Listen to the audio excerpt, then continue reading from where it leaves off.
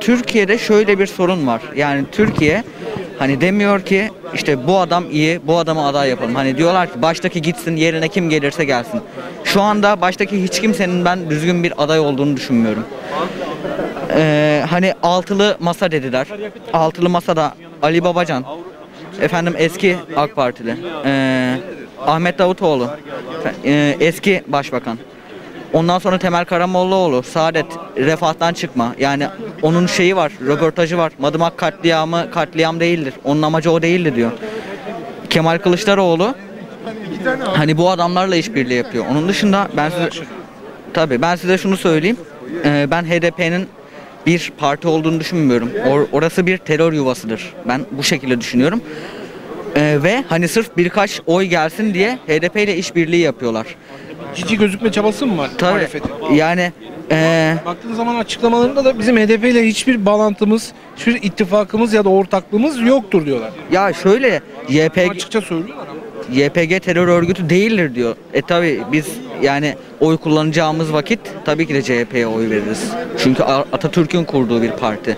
Biz tabii ki de ona oy veririz ama CHP'nin başındaki liderlerin hani sırf birkaç e, oy daha gelsin diye kendi şeyini bozmaması gerekir. Kendi ideolojisini bozmaması gerekir. Türkiye'de de Türkiye'de de sorun var. Türkiye Erdoğan gitsin yerine kim gelirse gelsin bakış açısıyla bakıyor. Bakışın yanlış oldu. Evet hani bizim şöyle bir görüşümüz var, bizim böyle bir görüşümüz var demiyorlar. Yani bu da insanların görüşlerini çürütüyor. Hani Erdoğan gidecek tamam. E o zaman ideoloji ne olacak? Türkiye'nin durumu ne olacak? Hani mesela 60'ta durum böyleydi. 60'ta darbeyi yaptılar. Ondan sonrasını düşünmediler. Biz sonuçtan sonrakine de bakmamız lazım. Erdoğan gidecek. Ondan sonra ne olacak? Ee, siyaseti, siyaset uğraşmayı, takip etmeyi seviyorum dedi. Peki sence şu anki parlamenter sisteme geri dönülmeli mi? Yoksa şu anda devam eden başkanlık sistemi devam etsin. Benim için bir sıkıntı yok mu? Ya şöyle söyleyeyim size. eee, basın özgürlüğünde, demokraside, cumhuriyette Türkiye en gerilerde şu anda. Hani eee, Türkiye'de başbakan yok. Ve Türkiye cumhuriyetle yönetilen bir ülke. O yüzden yani bunun değişmesi tabii ki de gerekiyor. Tek adam sistemi olmaz. Yani Atatürk'ün kurduğu demokrasiyi bizim elimizde tutmamız lazım, desteklememiz lazım. Teşekkür ediyorum. Çok sağ olun. Size soralım mı efendim? Nasıl gidiyor geçimler? Tenceremiz kaynıyor mu diye soruyorum. Kaynıyor çok şükür. Gençler şikayetçi durumlardan. Geçiremiyoruz diyorlar. Gençler eski zamanı bilmedikleri için şikayetçiler. Eskiyi yaşamadılar. Yetişkinler de doymak bilmiyorlar. Aç gözlü. Aç gözler doymak bilmiyorlar. Açık ve net söyleyeyim. Şu BİM, A101, şok. Onları bir protesto etsinler. Bir 15 gün evde olanlarla yetinsinler. Bak bakayım o fiyatlar ne oluyor. Şu anda ekonomikte darbe yapılıyor devlete. Allah bununla üstünden çıkmayı nasip etsin bize. İnşallah bundan da basit çıkacağız. bir çözümü mesela örnek veriyorum BİM A101 düşünemeyecek mi? Yani demeyecek mi lan bunlar elinde sonunda 10 gün sonra 15 gün sonra maksimum bir ay On- sonra onlar kan alacaklar. emici, onlar kan emici, onlar kan emmeye alışkınlar. Allah'ın izniyle biz bu darbeyi de atlatacağız. Peki bu bir darbe. Şu anki e, bizim gücümüz yetmiyor mu? Türkiye Cumhuriyeti'nin gücü yetmiyor mu? Gidip bu üç Türkiye- markete Peki Türkiye Cumhuriyeti hangi biriyle uğraşsın? 3 tane market Hangileri? yani. 3 tane markete marketlerle uğraşma bir şey değil. Zaten denetimi yapılıyor onların. Onların Yapılıyor mu? denetimi Fiyatlar yükselmeye devam ediyor. Denetim Mesela yapılıyor. daha dün Onlara e, dur 48 denilecek. lira olan e, 5 kiloluk şeker Evet. şu anda 90 liraya yükseldi. Cumhurbaşkanının açıklamasını duydunuz mu? Duydum. Bir şey ifade etmiyor yani. İfade Cumhurbaşkanı- o denetimlerle. Tekrar 45'e düşmedi yani. Denetimlerle.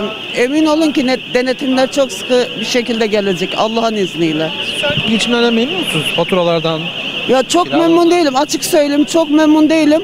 Ama benim yurt dışında da bu gençlerimiz yurt dışı yurt dışı diye çağırıyorlar ya. Yurt dışında benim ailemin çoğu yurt dışında. Ben onların orada neler çektiğini, neler yaşadığını gayet iyi biliyorum. Niye gittiler oraya? Benim ar- önceleri gitmişler ta yani ben doğmadan gitmişler. Ama Reisimiz ne güzel yönetiyor. Gel buraya deyin. Onlar da geliyorlar. Geliyorlar tabii ki Para geliyorlar. harcamaya değil. Komple gelsin. Hayır hayır komple geliyorlar, yerleşiyorlar. Ev yap, yaptılar. Herkes Buradan ev kendine- yaptırıp ben de gelirim Tabii yani. tabii. Herkes kendi kendi geçinebilirler mi? ge- geçinebilirler. Emin olun ki ayağınızı yorganınıza göre uzattığınız zaman Evet. Hayat standartlarınız aynı mı peki? Madem orada sürekli iletişim halindesiniz mesela. Hemen hemen aynı. Oradaki bir kira en kıtırık o da köyünde. Mesela Fransa'nın Strasbourg, Benfeld tam orada bir kira köy. Benfeld dediğiniz yer köy. Köyde 1000 euro kö- e, şey veriyorlar, kira veriyorlar. 2000 euro maaş alıyor. 1000 euro kira veriyor. Bunun yakıtıymış, bunun geçimiymiş. Ne kalıyor? Burada 4250 lira ortalama bir asgari ücret. Evet. Ee, peki ne kadar kira veriyoruz? 1500-2000'den aşağı e, var mı? Aynı yani. Aynı.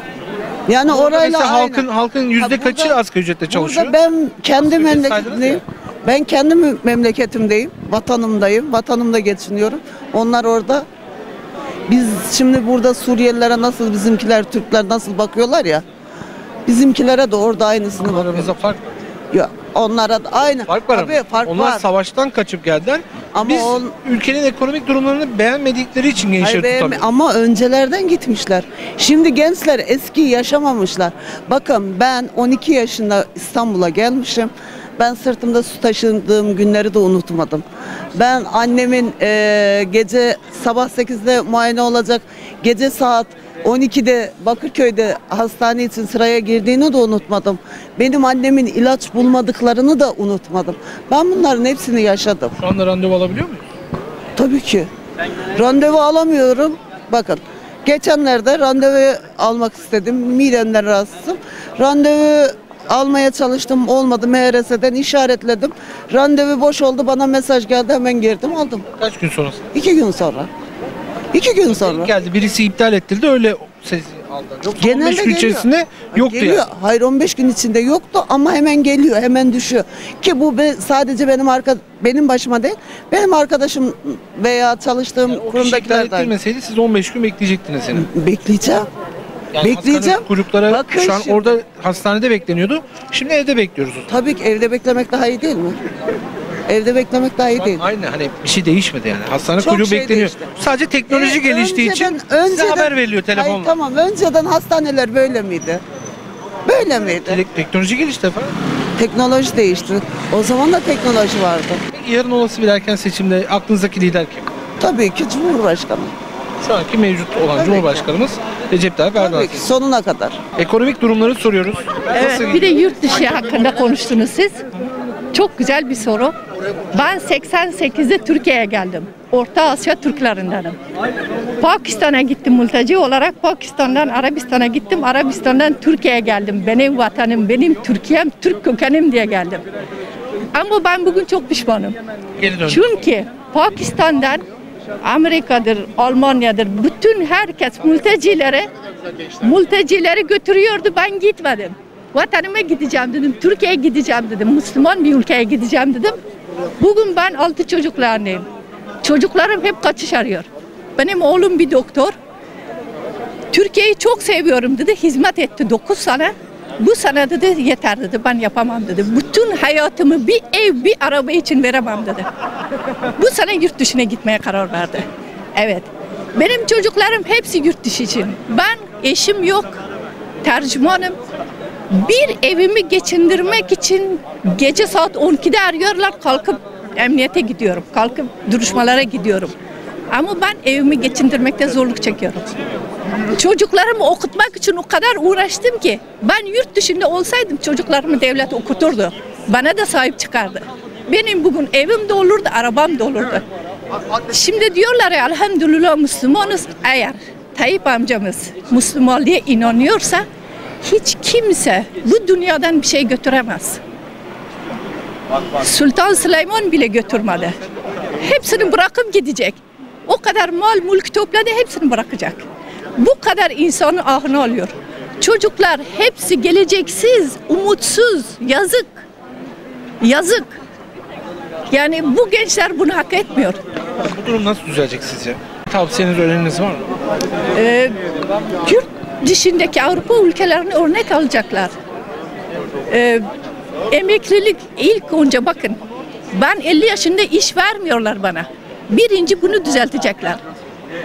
Ben serbest çalışmak zorundayım. Gidip bir yerde çalışamıyorum. 50 yaşındasın diyor. Ölmem mi gerekiyor? Yurt dışında öyle bir şey yok. Emekli olana kadar çalışıyorsunuz. İnsanlar mağdur. Yazık. Herkese yazık. Şu anda Türkiye'de oy kullanabiliyor musunuz? kullanıyorum ben. 88 yılında geldim. Bir sene sonra benim atalarımı e, Orta Asya'da araştırdılar ki ben Türk kökenliyim bana vatandaşlık verdiler. Ama bugün 270 bin dolara Türk olsun olmasın soyu ne olursa olsun para için vatandaşlık veriyorlar. Onlar hepsi de e, para yatırmak için geliyorlar. Kara parayı aklamak için geliyorlar. Burada bir Türkiye'de yatırım yapmak için değil. Sizin aklınızdaki lider kimdir efendim? Benim aklımda hiç lider yok. Hiçbir kimse yok. Gençler sorduğumuzda mesela Mansur Yavaş ismini çok duyuyoruz. Duyuyoruz Mansur ama ben Yavaş- inanmıyorum. Ona mı Hiç inanmıyorsun? kimseye inanmıyorum. Hiç kimseye inanmıyorum. Herkes herkes kendini düşünerek geliyor. Bugün geliyor ben şimdi e, AKP hizmet etti. Dolarlar lira aynı bazda gidiyordu. Şimdi bakın dolar nereye çıktı? 4,5-15. Evet ama Türk lirası duruyor. Bunlar hepsi cebini doldurdu bitti. Gelen herkes bu şekilde onun için güvenmiyorum ben. Ben de şimdi gidebilirsem bir an bile durmam. Giderim. Türkiye'yi çok seviyorum. Severek geldim. Altı çocuk verdim. Hepsi de mühendis, doktor, hepsi yetişti. Hepsi kaçma derdinde. Etrafımdakiler de. Ben de gitmek için uğraşıyorum. Hatta evlilik yolundan bile istedim. Ee, evlenmeyi düşünmüyorum.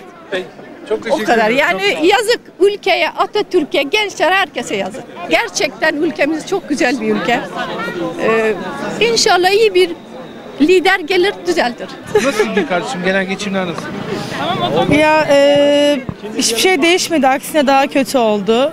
Yani hala aynı. Hala test kitabı alamıyoruz. Ya da hani ben kendim alıyorum ama alamayan insanlar var. Hala test kitabı alamayan, arabasını kullanamayan. Yani arabaya benzin yüklemeyi bırak, akbilini yükleyemeyen birçok insan var. Şurada artık işte hadi yemek yemeyeyim, dişimden tırnağımdan arttırayım, bir simit yiyeyim eve öyle gideyim deniyordu ya önceden.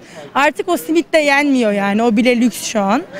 Ee, yani hiçbir şey değişmedi aksine daha kötüye gidiyor. Ne yapmaları gerektiğini bilmiyorum. Manda yoğurdu falan yememiz gerekiyormuş. O konu hakkında da yorum yapmak istemiyorum gerçekten. Sadece o değil tabii. Medine hurması, yulaf ve içerisinde kestane balı. Tabii e, mango da kurutuyorduk yaza hazırlık olsun diye. Mango bizi kuruttu. Yani onlar bizi aslında bir nevi kuruttular. Ee, mango ne diyor? Mango nedir? Bundan daha büyük bir dram olabilir mi? Evet mango. Mango nedir? Ice tea var falan mangolu böyle meyve. Tamam. Evet, evet. Ondan yani. Öyle değişen bir şey yok yani. Hani aksine daha kötüye gidiyor. İşte benzinler artıyor, vergiler, onlar bunlar. İşte şey diyorlar hani Haziran'da askeri ücrete zam gelecek diyorlar. Haziran'da Fakirin ekmeği işte. Şimdi zam gelse işveren ne yapacak? İşveren ver, e, zamı yük- zama yani verdiği paraya zam yapacak kadar çok mu kazanmaya başladı da o paraya zam yapsın? Sen işverene yardım ediyor musun? Der diyorsun. Evet, sen o işverene yardım ediyor musun? O adam o zaman kapısını kapatır gider. Yani o yüzden hiçbir şey değişmedi. Hepten kötüye gidiyor. Biz eskiden e, Twitter'dan da olsa yönetebiliyorduk bir şeyleri ama artık Twitter'dan da hiçbir şey yönetemiyoruz. Artık hiçbir şey görünmüyor. Çünkü tek maksat daha önce söyledim şimdi de söylüyorum. Gündem meşgul etmek. Arkada neler dönüyor hiçbir şey bilmiyoruz. E, Geçen burada bir röportaj verdim. Bir tanesi Afganlıyı, Suriyeliyi falan savunuyordu böyle. Ee, bana dedi ki işte Afganları niye savunmuyorsun sen falan yaptı böyle. Dedim ki ya senin ülkendeki senin o adamın bir kaydı yok. İki senin bacına kızına çok affedersin hani dokunabiliyor ve sen bunlar rahatsın. Sonra Suriyeli çıktı zaten. Ben ona şey dedim sen dedim git dedim saraya cariye ol dedim. Cariye biliyorsunuz kadınlara deniyor. Onlara da etek giydirip dolaştıracaklar zaten az kaldı. Öyle yalamalar yani videonun altına bana şey yazmışlar. İşte sen kimsin bir insana böyle konuşuyorsun. İşte sizde gaz yoksa e, odun yakın. Sigara çok pahalıysa tütün için. Neden? Kağıtta pahalı sıçmayalım.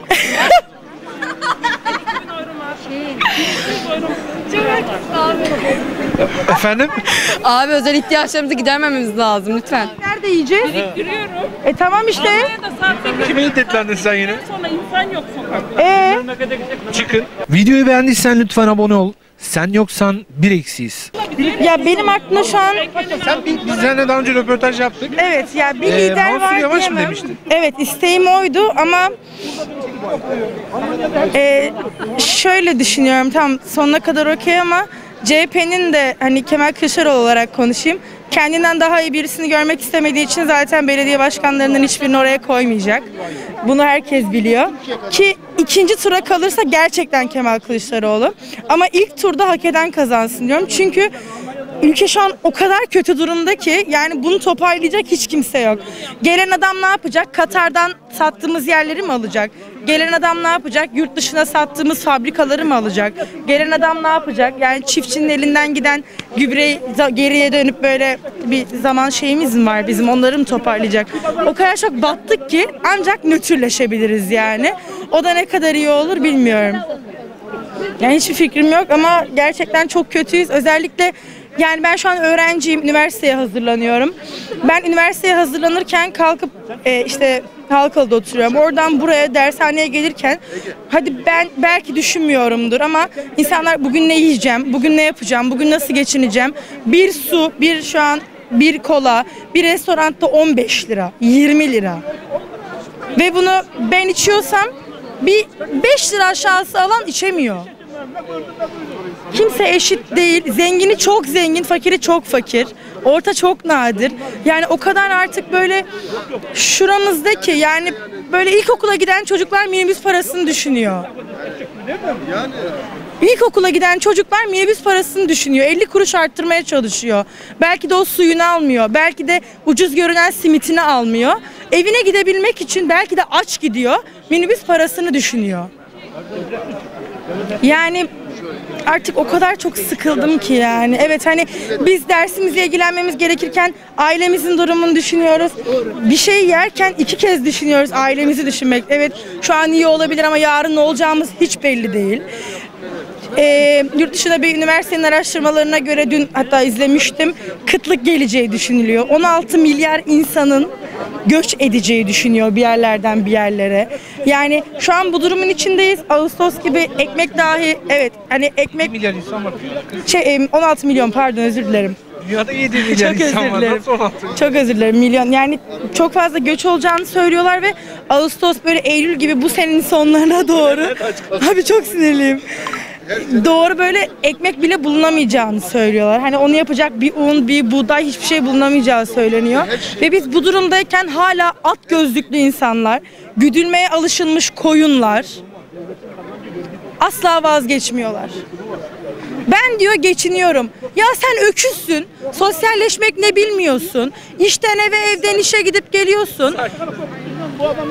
Karı kız peşine düşüyorsun. Başka bildiğin hiçbir şey yok. Öküz gibi burada gelmiş. Ben geçiniyorum.